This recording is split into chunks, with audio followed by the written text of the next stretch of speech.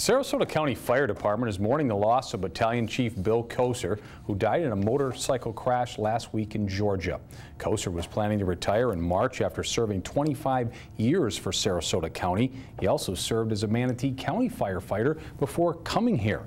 He was a lifelong resident of Sarasota, the first baby born at Sarasota Memorial Hospital on New Year's Day 1954. He was serving as the battalion chief for Mid-Sarasota County. His family is planning a celebration of his life, but details are not yet available. Koser was 63 years old. We'll have more on his story coming up tonight at 10.